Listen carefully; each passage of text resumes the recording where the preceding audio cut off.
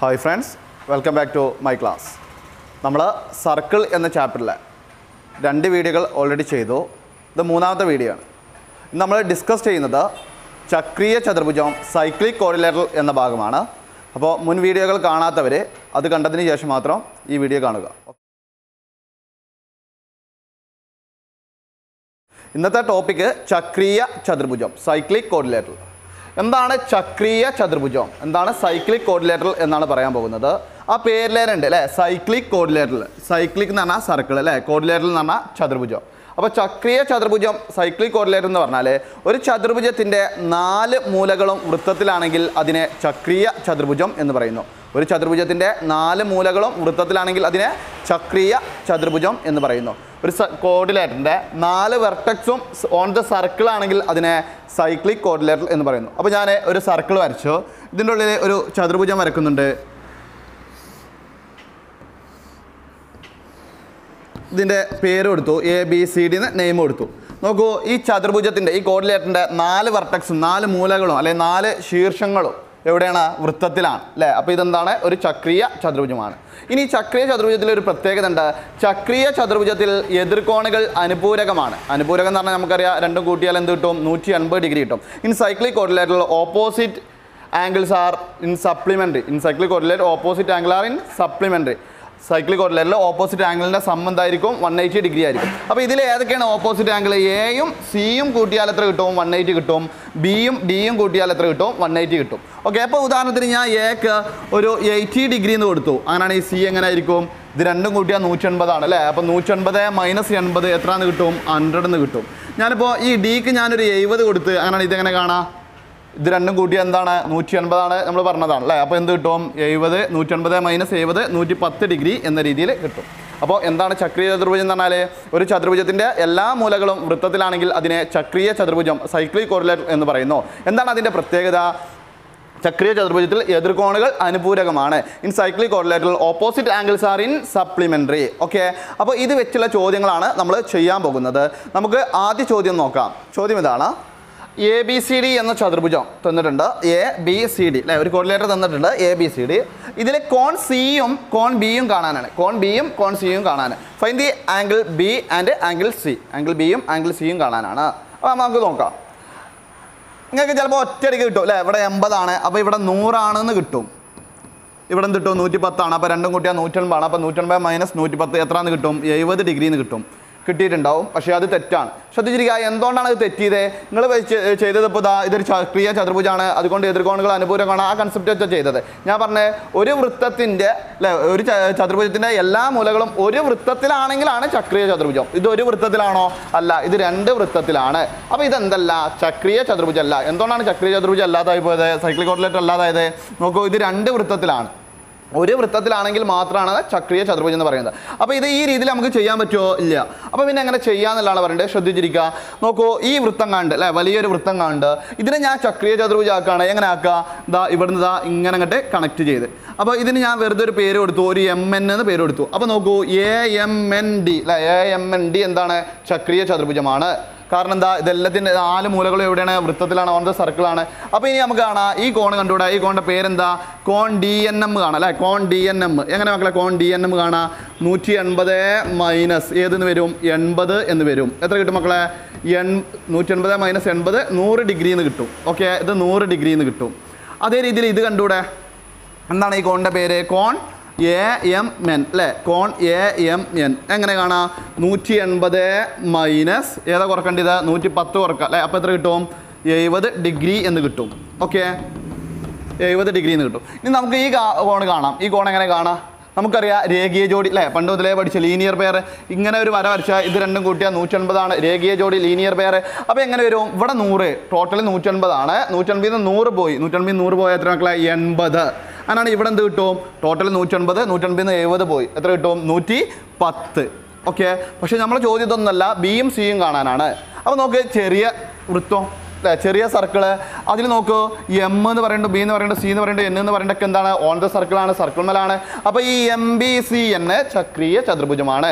അപ്പോൾ എതിർകോണുകൾ കൂട്ടി എന്ത് കിട്ടും? നൂറ്റി എൺപത് കിട്ടും. അപ്പോൾ ഈ കോൺ എങ്ങനെ കാണാം? നൂറ്റി എൺപത് മൈനസ് എൺപത്. എത്ര കിട്ടും? നൂറ് ഡിഗ്രിന്ന് കിട്ടും. അതേപോലെ തന്നെ ഈ കോൺ എങ്ങനെ കാണാം? നൂറ്റൻപത് മൈനസ് നൂറ്റി പത്ത് എഴുപത് ഡിഗ്രി എന്ന് കിട്ടും. ഓക്കെ അപ്പോൾ നേരത്തെ കിട്ടി. നമ്മൾ ആദ്യം എഴുതിയ തെറ്റിപ്പോയ ഉത്തരത്തിന്റെ നേരെ ഓപ്പോസിറ്റ് അല്ലേ? ഇവിടെ നൂറിനെ അന്ന് കിട്ടിയിട്ട് ഇപ്പോൾ ഇവിടെ എന്ത് കിട്ടി? ഇവിടെ നൂറ്. ആ രീതിയിൽ വരും. അപ്പോൾ ഈ ചോദ്യത്തിന്റെ പ്രത്യേകത ഒറ്റയടിക്ക് എഴുതിക്കാണ്ട് തെറ്റിക്കരുത്. കാരണം എന്താണ്? ഒരു ചക്രീയ ചതുർഭുജം അല്ല. എങ്ങനെ പിന്നെ ചക്രീയ ചതുർഭുജം ആക്കിയത്? ഈ എം എൻ വരച്ച് അല്ലേ? ഒരു ഡാഷ് ലൈൻ ഇട്ടുകാണ്ട് രണ്ട് ചതുർഭുജങ്ങളാക്കിയിട്ടാണ് ചക്രീയ ചതുർഭുജം ചെയ്തത്. ഓക്കെ ഇനി ഇതേ രീതിയിലുള്ള രണ്ടെണ്ണം ഇപ്പോൾ രണ്ടെണ്ണമാണ് ഉള്ളത് അല്ലേ? മൂന്നെണ്ണം നാലെണ്ണം അഞ്ചെണ്ണം അങ്ങനെ ഒരുപാട് വൃത്തങ്ങൾ തരും. അങ്ങനത്തെ ക്വസ്റ്റ്യനൊക്കെ ചെയ്യാൻ ഇതേ മെത്തേഡാണ് ചെയ്യേണ്ടത്. എന്താണ് പോയിന്റ് ഒന്ന് സൈക്ലിക് കോർഡിലേറ്ററിലെ ഓപ്പോസിറ്റ് ആംഗിൾ കൂട്ടിയ വൺ എയ്റ്റി ഡിഗ്രി കിട്ടും. പിന്നെ അടുത്തത് രേഖീയ ജോഡി അല്ലെങ്കിൽ ലീനിയർ പെയർ ആ കൺസെപ്റ്റ് വെച്ചാണ് ചെയ്യേണ്ടത്. നമുക്ക് അടുത്ത ചോദ്യം നോക്കാം. അടുത്ത ചോദ്യം ഇതാണ്. എ ബി സി ഡി അല്ലേ എ ബി സി ഡി ഒരു ചക്രീയ ചതുർഭുജമാണെന്ന് തെളിയിക്കുക. Prove that A B C D is a cyclic quadrilateral A B C D cyclic quadrilateral ആണെന്ന് പ്രൂവ് ചെയ്യാനാണ്. അപ്പോൾ നോക്കൂ എന്താണ് നേരത്തെ ചോദ്യം? ഈ ചോദ്യം തമ്മിലുള്ള ബന്ധം. നേരത്തെ രണ്ട് സർക്കിളുള്ളതിന് ഇതിൽ എത്ര ഉണ്ട്? മൂന്നെണ്ണം ഉണ്ട്. ചോദ്യം കോണ് കാണാനല്ല പകരം എന്താണ്? പ്രൂവ് ചെയ്യാനാണ്. ഇതൊരു സൈക്ലിക് കോർഡിലേറ്റിലെ ചക്രീയ ചതുർഭുജമാണെന്ന് പ്രൂവ് ചെയ്യാനാണ്. അപ്പോൾ നമുക്ക് നോക്കാം. ഞാൻ എനിക്ക് ഒറ്റയടിക്ക് ഇങ്ങനെ എഴുതാൻ പറ്റുമോ? എയും ബിയും സിയും ഡിയും വൃത്തത്തിലാണ്. On the in the figure A comma B comma C comma D on the circle therefore this is cyclic quadrilateral ആ രീതിയിൽ എഴുതാൻ പറ്റുമോ? എയും ബിയും സിയും ഡിയും എന്താണ്? വൃത്തത്തിലാണ്. അതുകൊണ്ട് ഇതൊരു ചക്രീയ ചതുർഭുജാണെന്ന് എഴുതാൻ പറ്റുമോ? ഇല്ല. കാരണം എന്താണ്? ഒരു വൃത്തത്തിലാണെങ്കിൽ അങ്ങനെ പറ്റുള്ളൂ. ഇത് ഒരു വൃത്തത്തിലാണോ? അല്ല. മൂന്ന് വൃത്തങ്ങൾ കൂടി ചേർന്ന ചിത്രമാണ്. അതുകൊണ്ട് അത് പറ്റൂല. അപ്പോൾ പിന്നെ എങ്ങനെ ചെയ്യുന്നതാണ് നമ്മൾ നേരത്തെ ചെയ്ത അതേ രീതിയിൽ. അപ്പോൾ ആദ്യം എന്താ ചെയ്യേണ്ടത്? ഇതാ ഇവിടെ നിന്ന് ഇങ്ങനെ ഇങ്ങോട്ട് വരയ്ക്കുക യോജിപ്പിക്കുക അതേപോലെ തന്നെ ഇതും യോജിപ്പിക്കുക അപ്പോൾ നോക്കൂ ഇപ്പോൾ എത്ര ചതുർഭുജങ്ങളുണ്ട്? ഒന്ന് രണ്ട് മൂന്ന്. പിന്നെ വലുതൊന്നും നാലെണ്ണുണ്ട് അല്ലേ? അപ്പോൾ നമുക്കിവിടെ കോണുകളൊന്നും തന്നിട്ടില്ല. അപ്പോൾ ഞാൻ ഈ കോൺ എക്ക് ഞാൻ എക്സ് എന്ന് കൊടുത്തു. അങ്ങനെയാണ് നേരത്തെ നമ്മൾ ചെയ്ത രീതിയിൽ പറഞ്ഞാണ്. ഇതൊരു ചക്രീയ ചതുർഭുജമാണ് അല്ലേ? പേര് കൊടുക്കുക. എം എൻ പി ക്യു നോക്കൂ എ എം എൻ ഡി എന്ന് പറയുന്നത് എന്താണ്? ചക്രീയ ചതുർഭുജമാണ്. ഇവിടെ നമ്മൾ എക്സ് എന്ന് കൊടുത്ത്. ഇതും ഇതും കൂട്ടി എന്താണ്? നൂറ്റി എൺപതാണ് ചക്രീയ ചതുർഭുജത്തിലെ എതിർകോണം എന്താണ്? അനുപൂരകമാണ് അല്ലേ? സൈക്കിൾ കോർഡിലേറ്റ് ഓപ്പോസിറ്റ് ആംഗിൾ എന്താണ്? സപ്ലിമെന്ററി ആണ്. അപ്പോൾ ഇത് എക്സ് ആയി രണ്ടും കൂട്ടിയാൽ നൂറ്റൻപതാണ്. അപ്പോൾ നൂറ്റൻപിൽ നിന്ന് എക്സ് പോയി. എങ്ങനെ ഇതാ വൺ എയ്റ്റി മൈനസ് എക്സ് എന്ന് കിട്ടും. ഓക്കെ അങ്ങനെയാണ് ഇത് എങ്ങനെ കിട്ടുക? ഇത് ലീനിയർ പെയറാണ് രണ്ടും കൂട്ടിയാൽ നൂറ്റൻപതാണ് അല്ലേ? അപ്പോൾ നൂറ്റൻപത് എങ്ങനെ വരും? നൂറ്റൻപത് മൈനസ് നൂറ്റി എൺപത് മൈനസ് എക്സ് എന്ന് വരും അല്ലേ? നൂറ്റി എങ്ങനെ വരും? നൂറ്റൻപത് മൈനസ് നൂറ്റി എൺപത് ഈ മൈനസ് മൈനസ് എന്താവും? പ്ലസ് എക്സ് അപ്പോൾ എന്തെന്ന് കിട്ടും? എക്സ് എന്ന് കിട്ടും. ഓക്കെ അങ്ങനെയാണെങ്കിൽ ഞാൻ ഇവിടെ വൈ കൊടുത്തു. അങ്ങനെയാണെങ്കിൽ ഇവിടെ എന്ത് കിട്ടും? നൂറ്റൻപതിൽ നിന്ന് വൈ പോയി. എങ്ങനെ വരും? നൂറ്റൻപത് മൈനസ് വൈ എന്ന് വരും. അപ്പോൾ ഇതെങ്ങനെ കിട്ടുക? ഇത് രണ്ടും കൂട്ടി എന്താണ്? നൂറ്റി അൻപതാണ് അപ്പോൾ നൂറ്റൻപത് മൈനസ് നൂറ്റൻപത് മൈനസ് വൈ എന്ന് വരും അല്ലേ? അപ്പോൾ ലാസ്റ്റ് എന്ത് കിട്ടും? വൈ എന്ന് കിട്ടും. ഓക്കെ അപ്പോൾ ഫസ്റ്റത്തെ ഈ ചക്രീയ ചതുർഭുജം കഴിഞ്ഞു. ഇനി അടുത്ത ചക്രീയ ചതുർഭുജം ഏതാണ്? എം പി ക്യു എൻ നോക്കൂ ഇവിടെ എക്സ് ഇത് രണ്ടും കൂട്ടിയാൽ നൂറ്റൻപത്. അതാണ് ഈ കാണേണ്ട എന്ത് വരും? നൂറ്റൻപത് മൈനസ് എക്സ് ഈ കാണേണ്ട വരും മക്കളെ? നൂറ്റി എൺപത് മൈനസ് വൈ എ. സംശയമൊന്നുമില്ലല്ലോ. നോക്കൂ ഈ കാണ്ട് എന്ത് വരും? ഇതേ രീതിയിൽ നോക്കൂ. നൂറ്റൻപത് മൈനസ് എക്സ് കഴിഞ്ഞാൽ അടുത്ത എന്താ? എക്സ് അല്ലേ? ഇത് രണ്ടും കൂട്ടിയാൽ നൂറ്റൻപത്. കാരണം എന്താ? ലീനിയർ പെയർ രേഖീയ ജോഡി. അപ്പോൾ നൂറ്റൻപത് മൈനസ് നൂറ്റൻപത് മൈനസ് എക്സ് എന്ന് വരും. അല്ലേ? അപ്പോൾ നൂറ്റൻപത് മൈനസ് നൂറ്റൻപത് പോയി. ബാക്കി മൈനസ് മൈനസ് ഉണ്ടാവും പ്ലസ് എക്സ് ഇവിടെ എക്സ് എന്ന് വരും. ഇവിടെ എന്തിനു വരും മക്കളെ? വൈ എന്ന് വരും. ഓക്കെ നോക്കൂ പി ക്യു സി ബി അതെന്താണ്? ചക്രീയ ചതുർഭുജാണ്. എതിർകോണുകൾ എന്താണ്? അനുപൂരകമാണ് അപ്പോൾ ഏതൊക്കെയാണ്? ഈ ആംഗിളും ഈ ആംഗിളും കൂട്ടിയാൽ നൂറ്റൻപതാണ്. അപ്പോൾ ഈ കോണം തരും നൂറ്റൻപത് മൈനസ് ഏത് പോയി? വൈ പോയി. ഈ കണ്ട കോണം തരും നൂറ്റൻപത് മൈനസ് എക്സ് എന്ന് വരും. ഈ രീതിയിൽ എഴുതിയത് എല്ലാവർക്കും മനസ്സിലായെന്ന് വിശ്വസിക്കുന്നു. ഒന്നുമില്ല രണ്ടെണ്ണം കൂട്ടിയാൽ നൂറ്റൻപതാണ്. അപ്പോൾ ഇവിടെ എക്സ് ഉണ്ട്. അപ്പോൾ നൂറ്റൻപതിൽ നിന്ന് എക്സ് പോയി. എങ്ങനെ പറയാം? നൂറ്റൻപത് മൈനസ് എക്സ് പിന്നെ ഇവിടെ എങ്ങനെ എക്സിറ്റ് ചെയ്ത്? ടോട്ടൽ ഇത് രണ്ടും കൂട്ടിയാൽ നൂറ്റൻപതാണ്. എന്തുകൊണ്ടാണ് ലീനിയർ പെയർ അല്ലേ? രേഖീയ ജോഡി. അപ്പോൾ എങ്ങനെ ഒരു നൂറ്റൻപത് മൈനസ് നൂറ്റൻപത് മൈനസ് എക്സ് നൂറ്റൻപത് മൈനസ് നൂറ്റൻപത് പോയി. ബാക്കി മൈനസ് മൈനസ് എന്താവും? പ്ലസ് എക്സ് എക്സ് ആ രീതിയിൽ കിട്ടി. ആ രീതിയിൽ നമ്മൾ ഇങ്ങനെ എഴുതി പോയി. നമ്മളോട് പറഞ്ഞിട്ടുള്ളത് എ ബി സി ഡി ചക്രീയ ചതുർഭുജാണെന്ന് തെളിയിക്കാനാണ്. അപ്പോൾ ചക്രീയ ചതുർഭുജാണെങ്കിലെ കണ്ടീഷൻ എന്താണ്? എതിർക്കോണ് കൂട്ടിയാൽ എത്ര കിട്ടണം? നൂറ്റൻപത് കിട്ടണം. അപ്പോൾ നോക്കുക ഇവിടെ എന്റെ എതിരെ ഏതാണ്? സി ആണ് അല്ലേ അപ്പോൾ ഞാൻ കോൺ എയും കോൺ സിയും കൂട്ടുണ്ട് നോക്ക് കോൺ എ എത്രയാണ് മക്കളെ? കോൺ എ എക്സ് അല്ലേ? കോൺ സി എന്താണ്? നൂറ്റി എൺപത് മൈനസ് എക്സ് ഈ എക്സും മൈനസ് എക്സും പോയി. അപ്പോൾ എന്താ ഉത്തരം? നൂറ്റി എൺപതാണ് അതേപോലെ തന്നെ ഞാൻ അടുത്തത് ഏതാണ്? കോൺ ഡിയും കോൺ ബിയും കൂട്ടുണ്ട് ശ്രദ്ധിക്കുക. കോൺ ഡിയും കോൺ ബിയും കൂട്ടുണ്ട് എന്താണ് കോൺ ഡി വൈ എ എന്താണ് കോൺ ബി നൂറ്റൻപത് മൈനസ് വൈ എ അപ്പോൾ അത് രണ്ടും മൈനസ് വൈയും വൈയും പോയി. ബാക്കി എന്താ ഉള്ളത്? നൂറ്റി എൺപത് അപ്പോൾ നോക്കൂ എയും സിയും അല്ലേ എതിർകോണുകൾ കൂട്ടിയപ്പോൾ എനിക്ക് നൂറ്റി എൺപത് കിട്ടി. അതേപോലെ തന്നെ ഡിയും ബിയും കൂട്ടിയപ്പോൾ എനിക്ക് എന്താ കിട്ടിയത്? നൂറ്റി എൺപതാണ് കിട്ടിയത്. അതായത് എതിർകോണുകൾ അനുപൂരകമാണ് സപ്ലിമെന്ററി ആണ്. അല്ലേ ഓപ്പോസിറ്റ് ആംഗിൾ സപ്ലിമെന്ററി ആണ്. അതുകൊണ്ട് എ ബി സി ഡി എന്ന് പറയുന്നത് ചക്രീയ ചതുർഭുജമാണ്. ഓക്കെ ഇനി നമുക്ക് അടുത്ത ചോദ്യം നോക്കാം. അടുത്ത ക്വസ്റ്റ്യൻ ഇതാണ്. ചതുരമല്ലാത്ത സാമാന്തരികങ്ങളൊന്നും ചക്രീയമല്ലെന്ന് തെളിയിക്കുക. Prove that a parallelogram which is not a rectangle is not cyclic rectangle parallelogram rectangle ആണെങ്കിൽ മാത്രമേ സൈക്ലിക് ആവുള്ളൂ എന്ന് പ്രൂവ് ചെയ്യാനാണ്. ഓക്കെ അപ്പോൾ ഞാനിവിടെ ഒരു പാരലോഗ്രാം വരക്കുന്നുണ്ട്. നെയിം കൊടുത്തു എ ബി സി ഡി നമ്മളോട് പറഞ്ഞിട്ടുള്ളത് ചതുരാണെങ്കിൽ മാത്രമേ എന്താവുള്ളൂ എന്ന് പ്രൂവ് ചെയ്യാനാണ്. സൈക്ലിക് കോർഡിലേറ്റർ ആവണമെന്നുള്ളത് പ്രൂവ് ചെയ്യാനാണ്. അപ്പോൾ ഞാൻ നോക്കുന്നുണ്ട് എന്താണ് ഈ സാമാന്തരികത്തിന്റെ പാരലോഗ്രാമിന്റെ പ്രത്യേകത?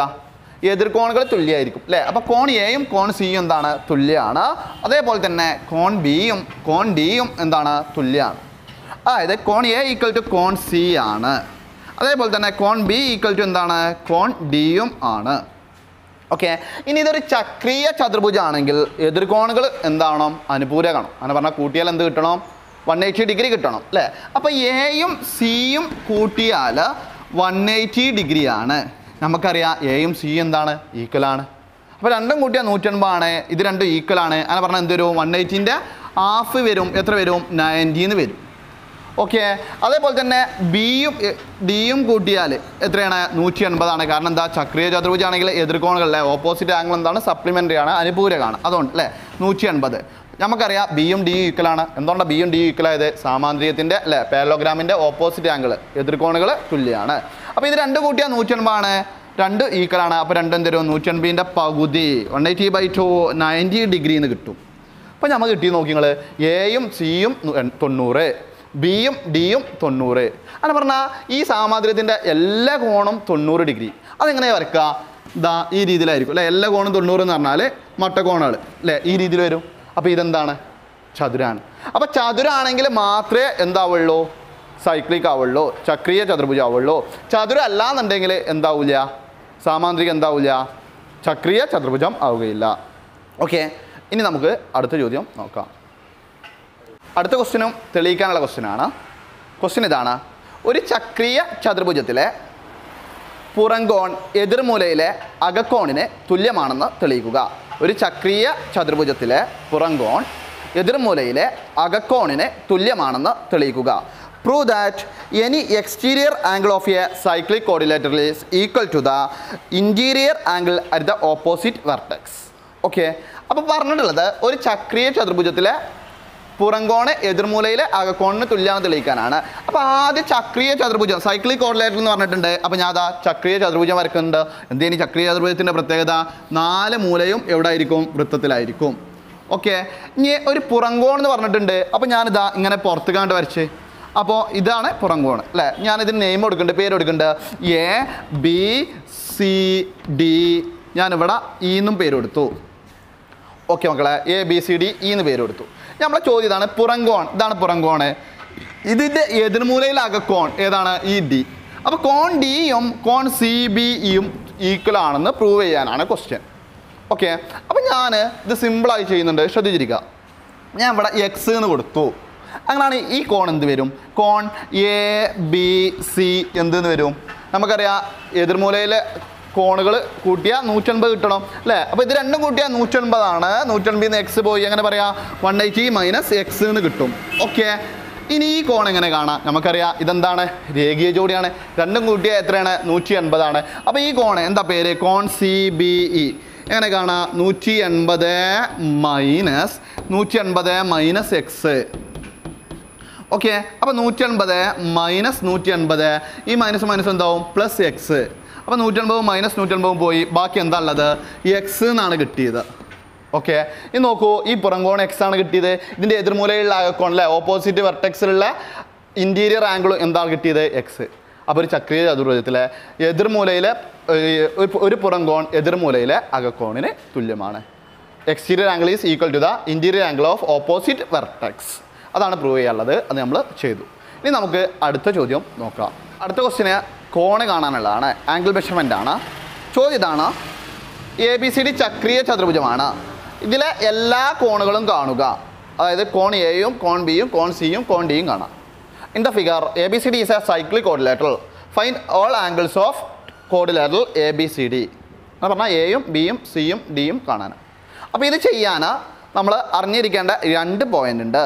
ഒന്നാമത്തെ പോയിന്റ് നമ്മളിപ്പോൾ ഇന്ന് ഡിസ്കസ് ചെയ്ത എന്താണ് സൈക്ലിക് കോർഡിലേറ്ററിലെ ഓപ്പോസിറ്റ് ആംഗിൾ സപ്ലിമെന്ററി ആണ്. രണ്ട് ഓപ്പോസിറ്റ് ആംഗിൾ കൂട്ടിയാൽ നൂറ്റൻപത് ഡിഗ്രി കിട്ടും. അതായത് ചക്രീയ ചതുർഭുജത്തിലെ എതിർകോണുകൾ അനുപൂരകമാണ്. കൂട്ടിയാൽ നൂറ്റൻപത് ഡിഗ്രി കിട്ടും ആ പോയിന്റ് പിന്നെ ഉള്ളത് കഴിഞ്ഞ ക്ലാസ്സിൽ അതായത് നമ്മൾ രണ്ടാമത്തെ വീഡിയോയിൽ ഡിസ്കസ് ചെയ്ത ഒരേ ചാപത്തിലെ കോണ് തുല്യമാണെന്നുള്ള പോയിന്റ് അതെ ഇപ്പോൾ ഉദാഹരണത്തിന് ഞാനിതാ ഇങ്ങനൊരു ചാപം വരച്ചു. നോക്കൂ ഈ കോണും ഈ കോണും തുല്യമാണ് എന്നുള്ള പോയിന്റ് ഒരേ ചാപത്തിലെ കോണുകൾ തുല്യമാണ് അല്ലേ? ഒരേ ആർക്കിലെ ആംഗിൾസ് ഈ സെയിം ആണ് എന്നുള്ള പോയിന്റ് ഇത് രണ്ടും വെച്ചാണ് നമ്മൾ ചെയ്യാൻ പോകുന്നത്. അപ്പോൾ നിങ്ങൾ ചെയ്യേണ്ടത് ആദ്യം ഈ ചിത്രം നോട്ട്ബുക്കിലേക്ക് പകർത്തുക. എന്നിട്ട് തന്ന കോണുകൾ പെന്നേറ്റ് ചെയ്താൽ അതെന്തിനാ? തരാത്തത് നിങ്ങൾ പെൻസിലേറ്റ് ചെയ്താൽ അത് എന്തിനാന്ന് വെച്ചാൽ പിന്നീട് നിങ്ങൾക്ക് നോക്കുമ്പോൾ മനസ്സിലാവാനാണ്. ഏതൊക്കെയാണ് ക്വസ്റ്റ്യനിൽ തന്നീന്റെ എന്ന് തിരിയാനാണ്. ഓക്കെ അപ്പോൾ നമുക്ക് തുടങ്ങാം. ആദ്യം ഞാൻ ഈ അൻപത് ഡിഗ്രി. എന്താണ് ഈ അൻപത് ഡിഗ്രീന്റെ പേര്? ഡി എന്നാണോ അല്ല. ഈ കാണുന്നത് അല്ലേ? അപ്പോൾ എന്താ പേര്? ബി ഡി സി അല്ലേ? അപ്പോൾ കോൺ ബി ഡി സി എന്ന് എഴുതി. ഇനി അതേപോലെ തന്നെ ഇതേ ചാപത്തിലുള്ള കോണ്. ചിലപ്പോൾ നിങ്ങൾക്ക് അങ്ങനെ പറഞ്ഞാൽ കിട്ടൂല. അപ്പോൾ നിങ്ങൾ ഇങ്ങനെ ആലോചിച്ചാൽ മതി. ഭീമ തുടങ്ങി സീമ അവസാനിച്ച വേറൊരു കോണ്. ഏതാണ്? ബീമ തുടങ്ങി സീമ അവസാനിച്ച് വേറൊരു കോണ്. ബി ഡി സി പോലെ. ബി എ സി അല്ലേ ബി എ സി അത് രണ്ടും എന്താണ്? ഒരേ ചാപത്തിലെ കോണാണ്. അപ്പോൾ തുല്യമായിരിക്കും ഇവിടെ അൻപതാണ്. അപ്പം ബി എ സി എന്തായിരിക്കും? അൻപത് ഡിഗ്രി. ഞാനിതാ ഇവിടെ മാർക്ക് ചെയ്ത് അൻപത് ഡിഗ്രി. ഇനി അങ്ങനെയാണെങ്കിൽ ഈ മുപ്പീന്റെ പേര് നിങ്ങൾക്ക് സ്വന്തമായിട്ട് പറഞ്ഞൂടെ. എന്താണ് മുപ്പീന്റെ പേര്? D C A. അതേപോലെ ഡീമ തുടങ്ങി ഏമ അവസാനിച്ച വേറൊന്ന് ഡീമ തുടങ്ങി ഏമ അവസാനിച്ച വേറൊന്ന്. ഡി സി എ നമ്മൾ പറഞ്ഞു. ഏതാ? D B A. അല്ലേ? അത് രണ്ടെന്തായിരിക്കും ഈക്വൽ ആയിരിക്കും. എത്രനായിരിക്കും മുപ്പത് ഡിഗ്രി. ഓക്കെ. അപ്പോൾ അൻപതായി മുപ്പതായി. ഇനി ഒരു നാൽപ്പത്തഞ്ച് കണ്ടല്ലോ എന്താണ് ആ നാൽപ്പത്തഞ്ചിന്റെ പേര്? D B D B C അല്ലേ ഡി ബി സി അങ്ങനെയാണ് ഈ ഡീമ തുടങ്ങി സീമ അവസാനിച്ച് വേറൊന്ന് ഡീമ തുടങ്ങി സീമ അവസാനിച്ച് വേറൊന്ന്. ഏതാ? ഡി എ സി അത് രണ്ടും എന്തായിരിക്കും? ഈക്വൽ ആയിരിക്കും നാൽപ്പത്തഞ്ച് ഡിഗ്രി. ഇപ്പോൾ ഈ ചിത്രത്തേക്ക് നോക്കി നിങ്ങൾ. രണ്ട് അൻപത് രണ്ട് മുപ്പത് രണ്ട് നാൽപ്പത്തഞ്ച് ഇനി കിട്ടാത്തതായിട്ട് ഈ രണ്ടെണ്ണ ഉള്ളത്? അതിന്റെ പേര് വസ്തുതിന്റെ പേര് എ ഡി ബി അടുത്തത് എ സി ബി അത് ഒന്ന് കിട്ടിയാൽ മറ്റേത് എന്തായിരിക്കും? അതേനായിരിക്കും തുല്യമായിരിക്കും ഓക്കെ. അപ്പോൾ അതെങ്ങനെ കാണാമെന്നാണ് പറയുന്നത്. നമുക്കറിയാം ഒരു ചക്രീയ ചതുർഭുജത്തിലെ എതിർകോണ് കൂട്ടിയാൽ നൂറ്റൻപതാണ് അല്ലേ? അപ്പോൾ കോൺ ഡിയും കോൺ ബിയും കൂട്ടിയാൽ എത്രയാണ്? നൂറ്റി അൻപതാണ് കോൺ ബി എത്രയാണ്? മുപ്പതും നാൽപ്പത്തഞ്ചും എഴുപത്തഞ്ച് അല്ലേ? അപ്പോൾ ഇത് എഴുപത്തഞ്ചാണ്.